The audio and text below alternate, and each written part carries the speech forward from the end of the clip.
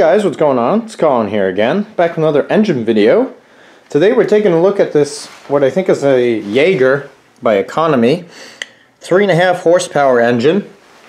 Um, this is definitely now the largest engine in my collection, um, and I don't really entirely have room for it, but we'll get to that later.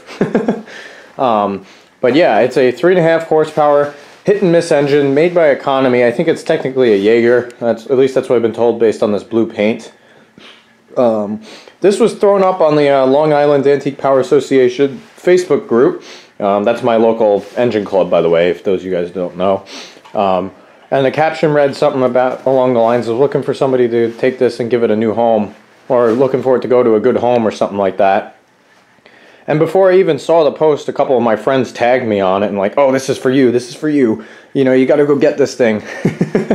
so uh, naturally, I had to reach out and I asked what the guy wanted for it, and he's like, I don't know, I just don't want to see it go to scrap, so how's 20 bucks sound? And I think my jaw just about hit the floor, and I was like, yep, I'll be there. So he was nice enough to hold it until I got back from school for Thanksgiving break, and I went and picked it up, and then it sat until now, which it's now Christmas break, and I'm going to actually try and get, get working on it. But um, yeah, it's a pretty cool engine. It's very large. Well, it's not that large in the grand scheme of things for hit, or flywheel engines or hit and miss engines, but for me, uh, my largest engine previous to this was the Witty, and I think this thing's given the Witty a run for its money. It's pretty freaking big. Um, well, some, some of you guys will know how big a Wico EK mag is, so that should give you an idea. Um, I don't have a tape measure on me right now, otherwise I'd measure the diameter of the wheels, but it's heavy too, I can say that much.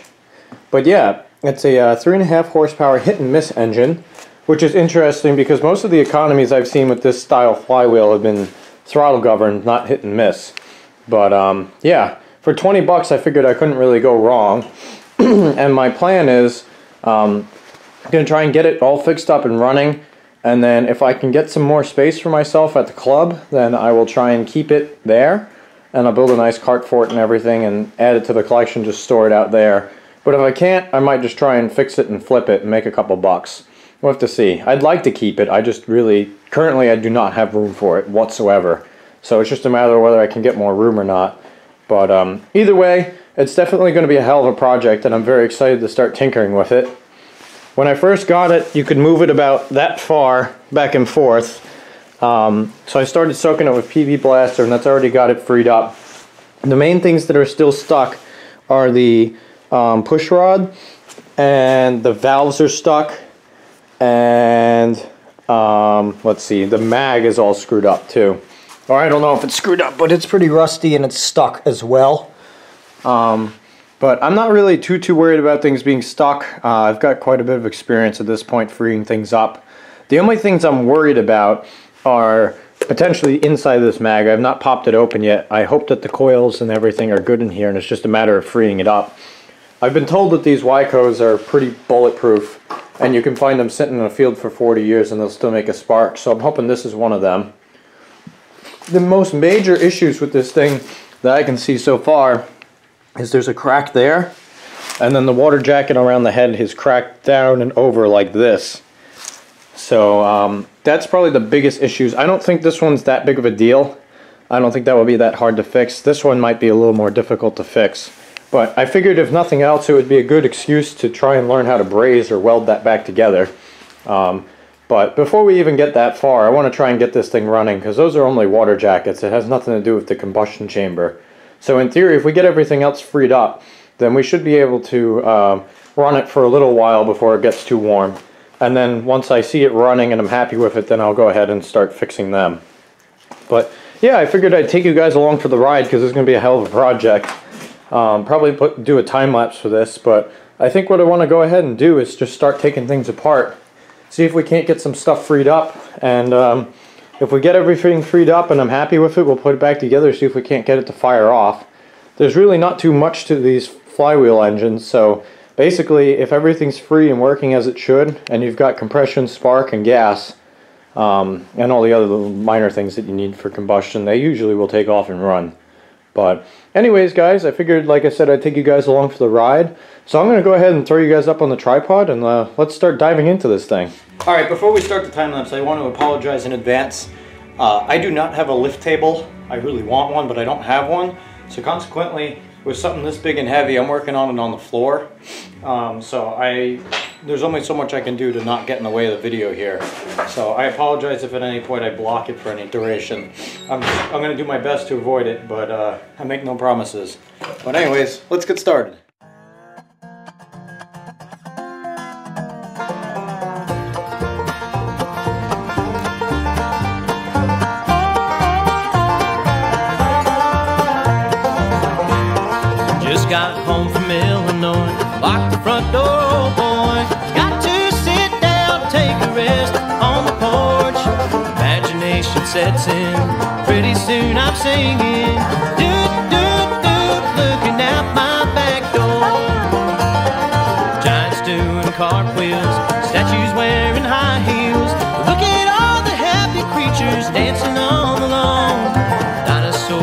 Cola, listen to Buck Owens. Doot, doot, doot, looking out my back door. Tambourines and elephants are playing in the band. Won't you take a ride on the flying spoon? Doot, doot, doot. Wondrous apparition, guided by magicians.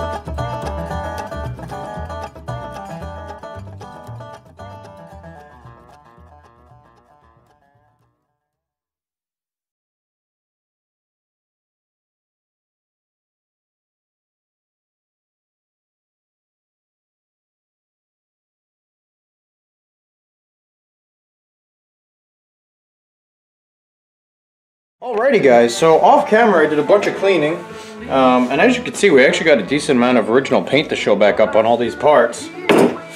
I also did a lot of freeing up of different things. Um, you saw me get these valves out, that was a pain in the ass. Holy crap, I've never had valves be that stuck in anything before.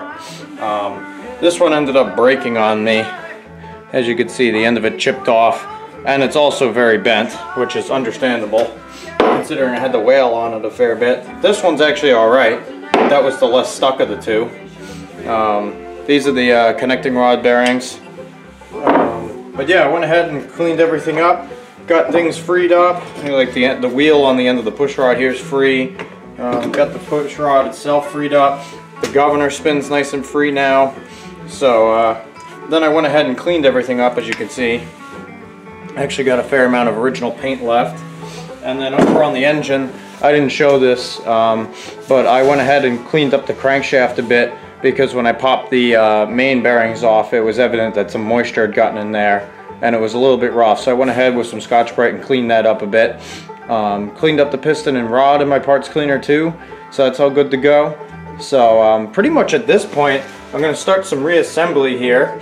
Um, going to go ahead and put all this stuff back together, get it back on the engine, clean up the bore a bit, see if we can't get the piston slapped back in the thing and the main caps back on and everything like that. Then we'll have to tackle the head here and the mag, which are going to be the two biggest problems on this engine, I can predict already. Um, I'm going to go ahead and lap this one good valve back in on the intake side. And I've got one here that's definitely incorrect, but uh, I might go ahead and try it anyways, just for shits and giggles. Um, this is, I'm to start with the mag, assuming I can get the mag to work. I'll try that just to see if we can't hear this thing pop and run a little bit, even if it's not to run well. Um, but I'll have to see. I might also just research how much one of these valves will cost and see if I can't just get a new one. Um, like I did for a different engine I've got here that I'll show you guys at some point. But um, yeah, anyways, just figured I'd give you guys a little uh, progress update here. And uh, I'm going to go ahead and start reassembly.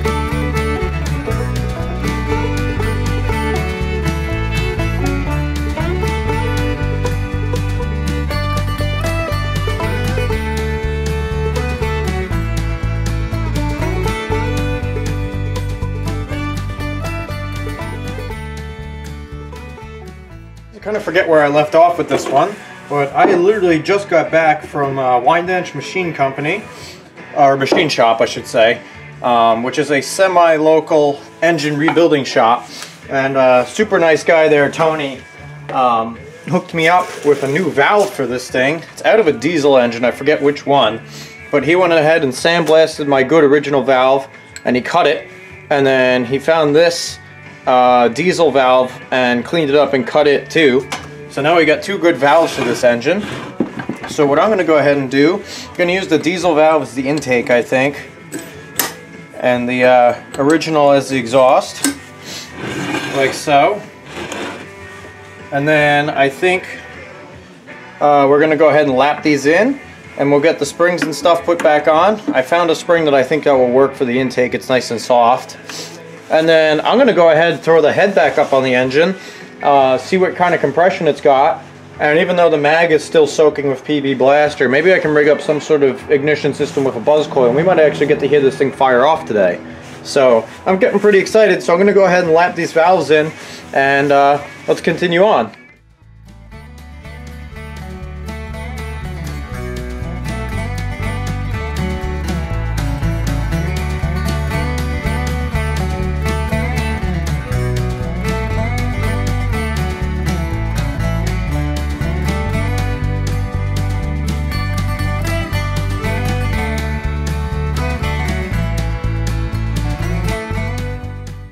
There you can see how the seat cleaned up. Forgot to show the other one, but it cleaned up equally as nice. Let's see if I can bring the valve in here. There you go. See that nice line there, right in the middle, as it should be, where the, uh, the seat uh, and the valve were meeting there. So, that's that done. I actually changed my mind. I made the replacement valve the uh, the exhaust because the keeper setup that I have works much better with this spring than the one I'm going to use on the uh, intake. So, anyways, just figured I'd show you guys that and uh, carry on here.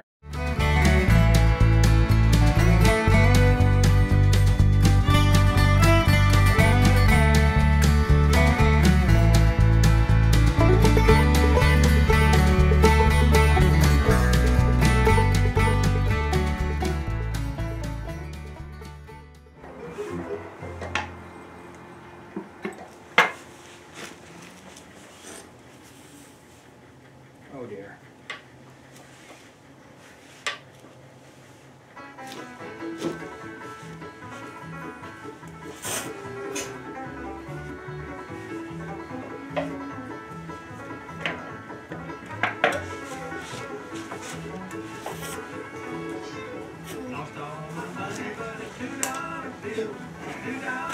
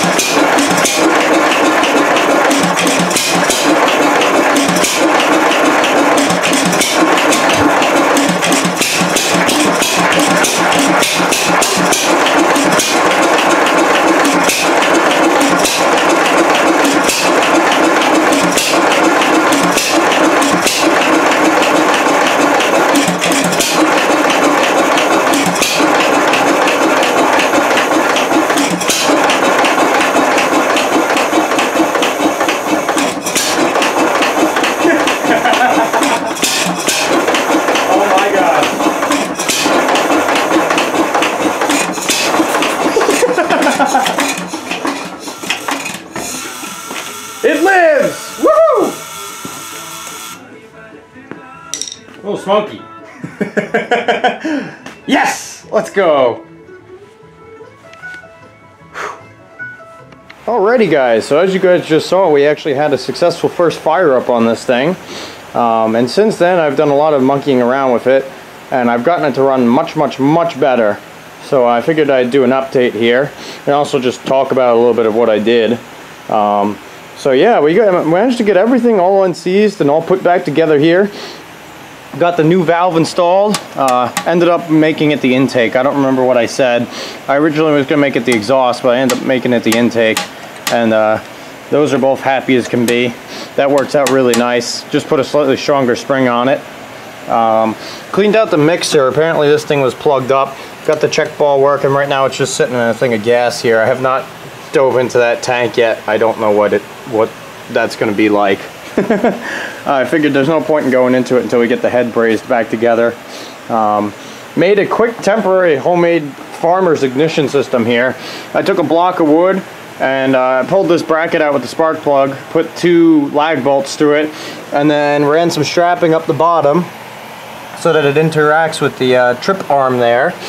And uh, again, super temporary. The mag is still soaking. The points are super, super seized on it. And uh, I just wanted to have something to fire this with without going and stealing a uh, mag off a different engine. So that actually worked out really nice. Um, did not get grease fittings for these yet. I've been pumping some grease in with the grease gun as it's been running and it's been taking a little bit. This thing I've been running plenty of grease through. This I've just been putting oil down with an oiler. But um, yeah, I made some new shims for the connecting rod here so that turns nice now. It's got, the compression came back a decent amount. As you can see it bounces off. Still got a slight leak out the intake. Not entirely sure how or why that's happening. But honestly, it's running good enough at this point that I don't really want to mess with it anymore. Um, so I figured I'd go ahead and do is uh, fire this thing up, show you guys how well it's running, and then I think we'll call this the end of this video, because um, what I'm going to end up doing is taking this head up to school with me, and Jake, also known as Five Tractor Guy, is going to teach me how to braze, and we're going to braze it back together. And then once I get the head back together, and I'll probably fix that crack too, then I'll go ahead and do stuff like the gas tank and get the mag working and get actual grease fittings and stuff in there, all the little things to make this a complete and fully functional engine. And I think after all that's done, which will likely be the summertime, uh, I'll go ahead and make an update video on this thing. It's just that if I try and wait and video all that stuff, I'm not going to be able to get this video out for like another six months. So I figured may, might as well, you know, show you guys that we got it running um, and then get the video out. But anyways, enough rambling. I'm going to throw you guys up on the tripod. Let's fire this thing up and I'll show you how it runs. Alright, show you guys how this thing runs here. Set it to full speed first, make it a little more exciting. Just going to give this a prime. Got plenty of gas in there. Just run this with a DC power supply off to the side here because I don't have a car battery. And uh, here we go.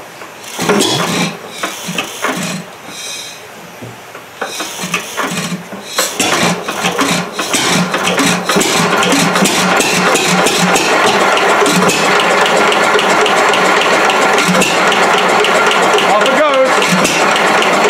So I decided I want a little bit of choke, so I put the choke on. Screwdriver's there to keep the choke in place because the spring on that's worn out. But this is full speed, as you can probably tell.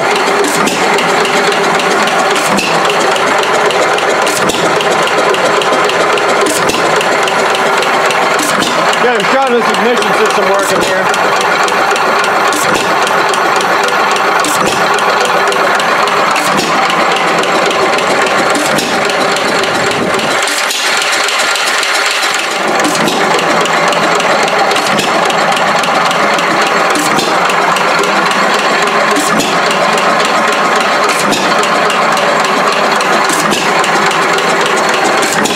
It's actually got a hell of a crack to it. We wandered down the driveway a little bit. It actually echoes in the neighborhood. I'm lower down the driveway. Hopefully the camera can pick up on that. It's actually echoing off this hill. Which is pretty funny. I'm gonna go ahead and slow it down here before it gets too too warm. This is the medium speed setting.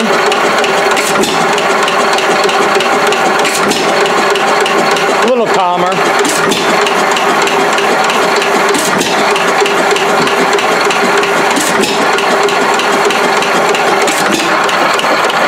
The slowest speed setting there. Which is more of where I like to run it, especially when there's no cooling water in it. You can run it for like 45 minutes on the slowest speed setting. You can still put your hand on the head and the cylinder. It barely gets hot.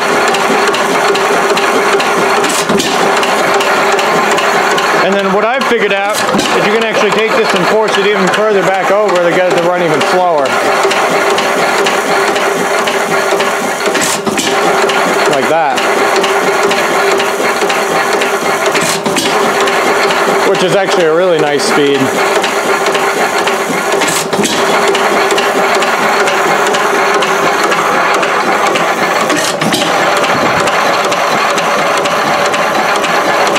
Sorry the lighting in here is not the best.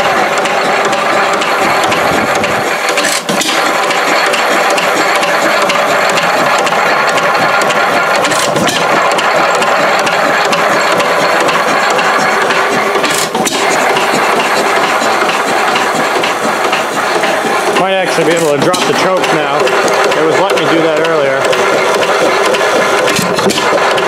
There we go.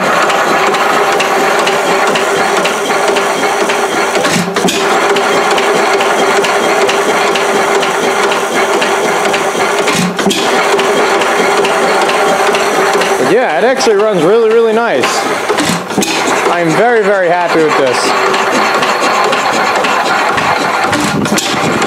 Also, I don't know if I mentioned this on the video or not yet, but I talked to the previous owner of this. It was his grandfather's, and the last time that he said it ran was about 1985. So it, oh, running a little lean now. Might want some choke.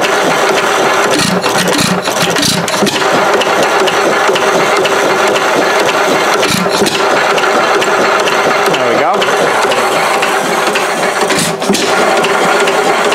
But yeah, this is the last. This is the first time it's run for an extended period of time since 1985, which is mind-boggling.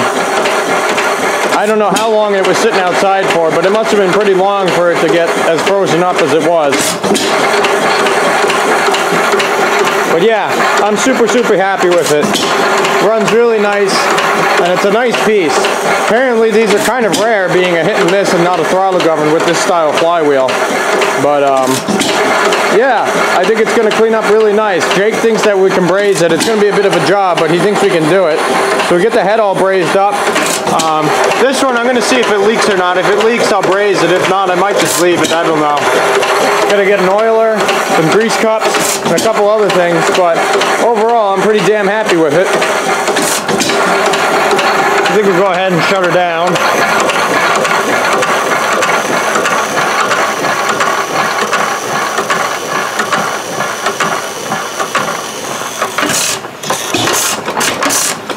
Nope.